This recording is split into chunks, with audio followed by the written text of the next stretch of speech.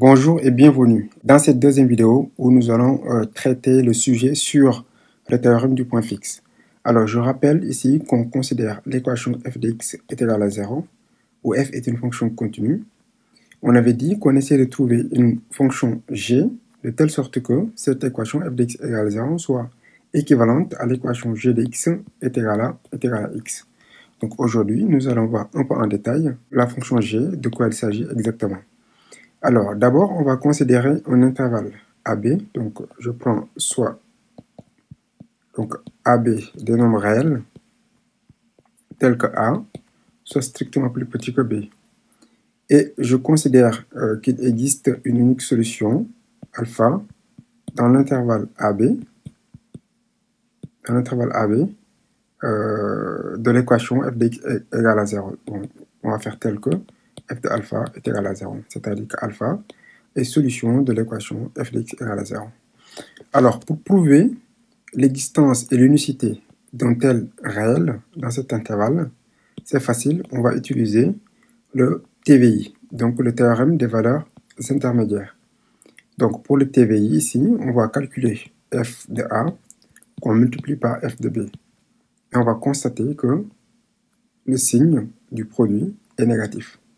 Ceci veut dire qu'il y a changement de signe entre f de A et f de B. Donc le signe en f de A est différent du signe en, f de B. Donc ça, euh, ça nous donne l'existence de la solution. Donc ça, c'est l'existence de alpha. Et pour l'unicité, on va voir que sur l'intervalle AB, notre fonction f est strictement monotone. Strictement monotone. Ok? Ça veut dire que c'est une fonction qui est strictement croissante ou strictement décroissante. Cette stricte monotonie va garantir l'unicité euh, tac, tac, tac, voilà, l'unicité de, de, la solution. Donc, comme on a une fonction f qui est strictement monotone sur AB et que f de A multiplié par f de B est négatif, ça veut dire qu'il existe une solution unique de l'équation f de x égale à 0. Donc géométriquement, ça veut dire quoi? Euh, C'est-à-dire ici, si j'ai ma courbe représentative de ma fonction comme ceci, ok, on a une fonction qui est croissante, et là, j'ai l'intervalle AB, A, B. Quand on calcule f de A, on tombe sur ce point, f de. Donc ce point, c'est négatif. Euh, donc f de A est euh, plus petit que 0. Très bien. Je calcule f de B, c'est ce point, et f de B est positif. Donc lorsque je fais le produit f de A fois f de B, on voit que le, produit est négatif, et donc euh, la fonction étant continue sur cet intervalle est strictement monotone, on a forcément l'existence d'un alpha ici, qui fait que f de alpha est égal à 0. Donc ça, c'est TVI qu'on applique à la fonction f pour trouver l'existence et l'unicité de la solution. Dans les exercices en terminale euh, S, le plus souvent, on vous demande de montrer l'existence et l'unicité de la solution alpha à travers euh, la fonction g, ou bien, euh, comment dire encore, cette équation. Là aussi, c'est facile, c'est TVI qui se cache derrière. On va voir comment utiliser TVI. Donc, on va considérer l'application euh, qui a x associé g de x moins x. Très bien. On va voir que c'est une application qui est contenue sur l'intervalle AB, euh, fermé. Donc, cette application euh, qui a x associé g de x moins x est contenue, est contenue sur AB. Donc ça, c'est la première chose. Elle est dérivable aussi. En fait, elle est dérivable, on la suppose dérivable sur cet intervalle. Et on a g de x moins x dérivé est égal à g' de x moins 1. Très bien. Donc, vous allez étudier le signe de la dérivée. Et donc, quand vous allez étudier le signe de la dérivée, soit euh, vous allez trouver que la dérivée euh, est strictement positive ou strictement négative. Et dans tous les cas, notre fonction qui est x associée g de x moins x sera strictement monotone, c'est-à-dire croissante ou décroissante strictement. Donc ça, c'est la première chose. La deuxième chose, on va calculer g de a moins a multiplié par G de B moins B. Et donc là, vous allez vous rendre compte que ce produit est aussi négatif. OK? Donc là, on a un produit qui est négatif. On a une stricte monotonie de notre euh, fonction kx associée g de x moins x. Donc, euh, il existe une unique solution alpha, donc qui appartient à AB, donc un, unique réel qui est dans l'intervalle AB, tel que g de alpha moins alpha est égal à 0, ce qui équivaut à dire que g de alpha est égal à alpha. Et donc ici, on a l'unicité euh, de la solution pour l'équation g de x égale à x. Donc que ce soit à travers cette équation ou à travers celle-là, pour trouver l'existence et l'unicité de la solution, on passe par TVI. TVI soit appliqué à cette fonction-là sur cet intervalle euh, AB, ou TVI appliqué à, la fonction qui est associée g de x moins x, appliqué à l'intervalle euh, sur l'intervalle AB. Très bien, donc ça c'était pour l'existence et l'unicité de la solution. Alors, une fois qu'on a ça, on suppose que g est dérivable, donc euh, g de x est dérivable, dérivable, et je suppose que, quel que soit x appartenant à AB, g' de x en valeur absolue est strictement plus petit, plus petite que euh, une constante k, qui elle-même est plus petite que, que 1. Très bien. Donc, euh, quand je fais ça, je dis que la dérivée sur AB est majorée par une constante k, euh, strictement plus petite, que, plus petite que 1. Très bien. Et maintenant, nous allons poser une suite. Et l'objectif de cette suite, c'est de pouvoir converger euh, vers la solution unique de l'équation f de x est égal, à, euh, est égal à 0 ou de manière équivalente de l'équation g de x est égal à, est à x. Posons notre suite. Donc on va poser ici euh, soit u0 appartenant à l'intervalle AB. Ok? Donc on pose un plus 1 est égal à est égal à g de un pour n supérieur égal à, égal à 0. Donc, on définit ainsi une suite. Alors, si le U0, qui est dans l'intervalle AB, est égal à alpha, ça veut dire que notre suite est constante, parce que ici, g de alpha est égal à alpha, donc un plus 1 est égal à alpha, quel que soit n. Et donc, du coup, notre suite va converger vers alpha, et il n'y a rien à faire. Euh, donc, autant la supposer différente de alpha, euh, c'est ce qui nous permet de faire des choses intéressantes. Alors, ça, c'était la première chose. La deuxième chose, c'est que j'ai oublié de le dire. On va supposer que, quel que soit x appartenant à l'intervalle AB, g de x appartient à l'intervalle AB. OK Donc, ce qui veut dire que si j'ai a plus petite que x, plus petite que b, alors ceci entraîne que a sera plus petit que euh, g de x, qui lui-même sera plus petit que, euh, que b. Très bien. Une fois cette remarque faite, on peut montrer assez facilement que, quel que soit n appartenant à grand n, un appartient à l'intervalle AB. Donc ça, c'est par récurrence.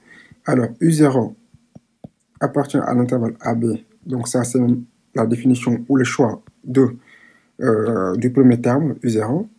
Alors, on va supposer que, donc supposons, supposons que pour euh, un certain n,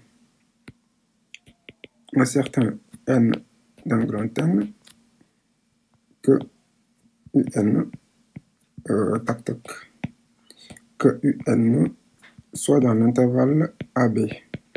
Très bien. Donc ça, ça veut dire quoi? Montrons alors, montrons alors, alors que un plus 1 va appartenir à un intervalle AB. Donc ça, c'est facile. Euh, je vais prendre euh, UN, UN qui appartient à AB. Donc ça, ça veut dire quoi? Ça veut dire que UN est entre A et B. Très bien. Mais comme on a, mais comme G de AB est contenu dans AB. OK?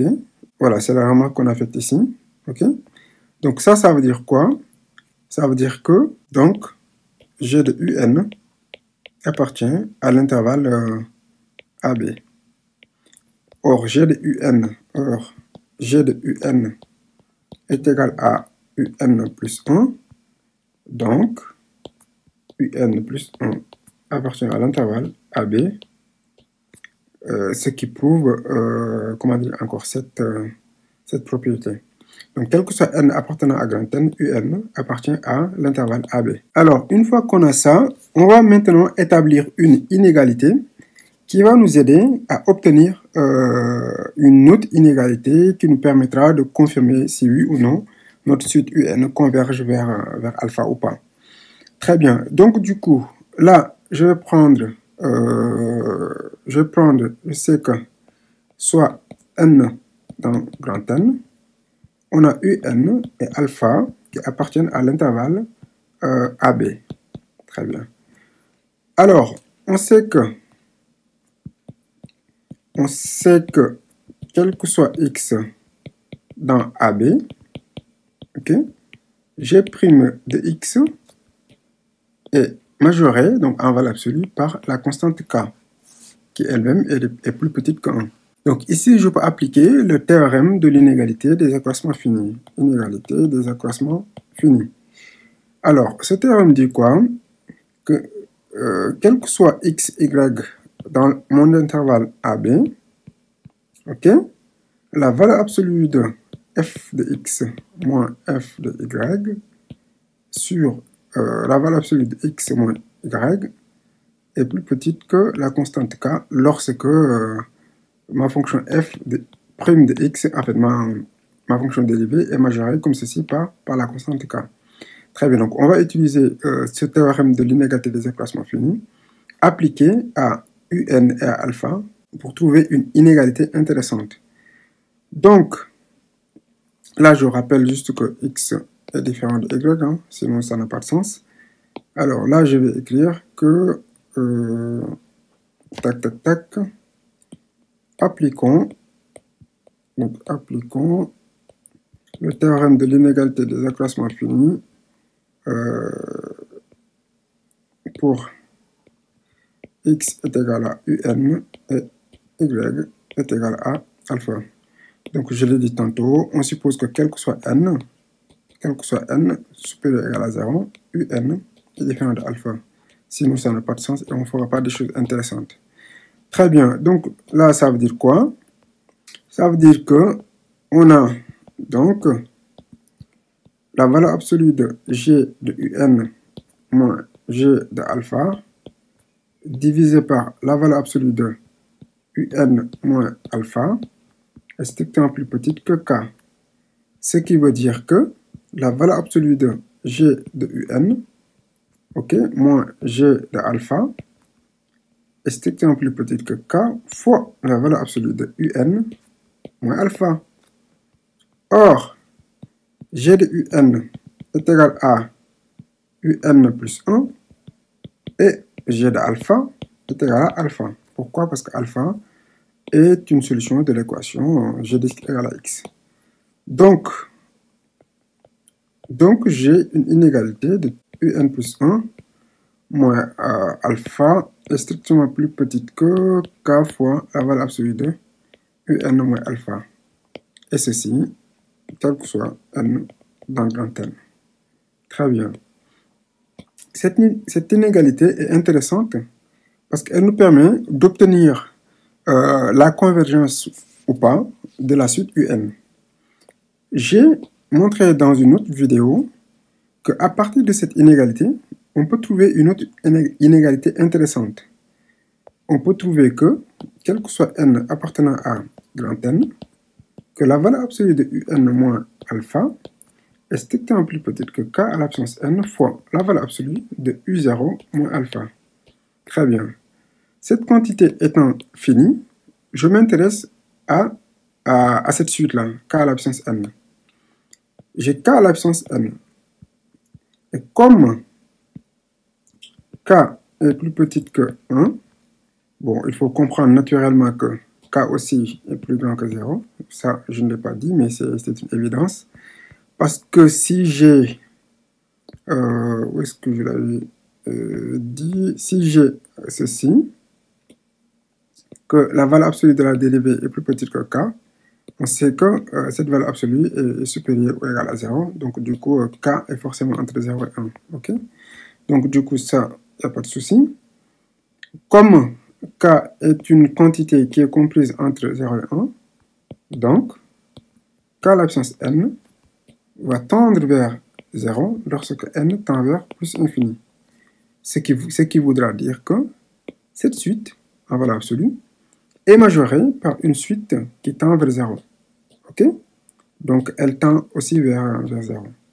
Donc, donc, la valeur absolue de un moins alpha tend vers 0 lorsque n tend vers plus infini, ce qui veut dire aussi, de manière équivalente, que la suite un tend vers alpha lorsque n tend vers plus infini. Donc, vous voyez, on a construit une suite un qui tend vers alpha, et alpha est l'unique solution de notre équation f de x est égal à x, ou de manière équivalente à l'équation g de x est égal à, est égal à x. Et tout ceci grâce à une fonction auxiliaire qu'on aura introduite. Donc, cette fonction n'est pas unique, la fonction g n'est pas unique. Et le plus souvent en terminale, on vous donne, euh, on vous donne l'expression de la fonction g et vous n'aurez qu'à développer tout ce qu'on a fait ici. Donc là, je vais faire un petit résumé. On a notre fonction euh, notre équation f de est égale à x avec une fonction f qui est comme il faut. Donc ceci est équivalent à l'équation g de est égal à x. À partir de notre équation g de est égal à x, on essaie d'avoir une suite un définie par un premier terme u0 qui est dans un intervalle AB, ok, A strictement plus petit que B. Et dans cet intervalle-là, il faut qu'on ait euh, alpha, la solution cherchée, soit dans alpha. Et on pose un plus 1 est égal à g de un. Sous certaines conditions euh, sur g, cette suite qu'on a créée, ok, un, va converger vers alpha, euh, qui est la solution unique de l'équation f de x est égal à x sur cet intervalle, ou de manière équivalente à l'équation g de x est égale à x sur cet intervalle. Alpha est unique dans cet intervalle.